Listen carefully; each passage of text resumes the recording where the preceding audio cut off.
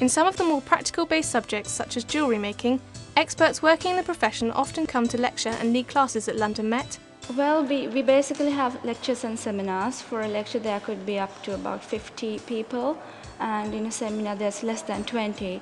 So, in the seminar, you get to talk to like in a personal level with the lecturer as well as other students and discuss things and you you can at the same time uh, sort of come up with your own perspective of uh, issues that we discuss but in the lecture basically since there's a lot of people you don't you don't get to talk you get to listen and basically at the end of the session you can ask questions the thing about London Met is the, the way that you can structure your course and the flexibility it offers. So you could come here and study law alongside um, fine art if you really wanted to.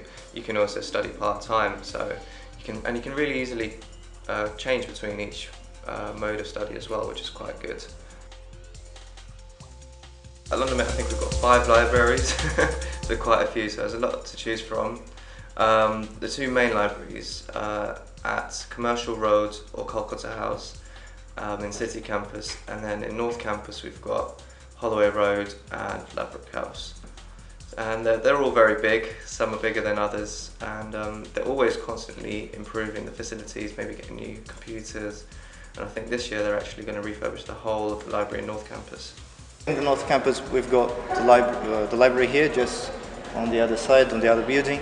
Uh, we've got several computer labs with loads and loads of computers for everybody. You know.